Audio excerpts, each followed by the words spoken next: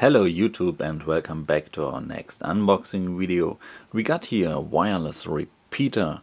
It's from Huawei and it's a model WS320. Um, I have a great idea to improve my wireless LAN um, and let's see what's here in the box. I just hit Amazon and hit the wireless repeater section and this was the cheapest wireless repeater there was.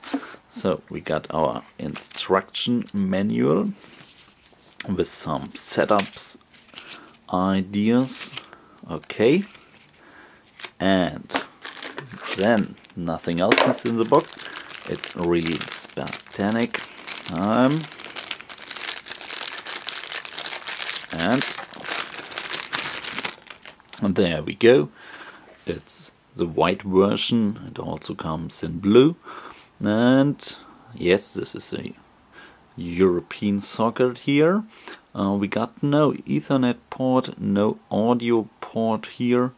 Uh, the Apple AirPort Express or some AVM repeater comes with these features.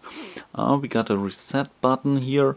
And we only got this button here and an uh, LED blinking thingy.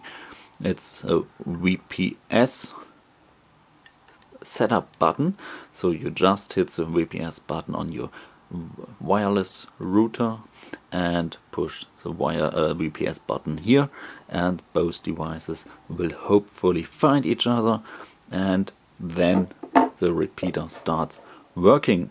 I will check this out, test it and tell you more about it. Thanks for watching and bye.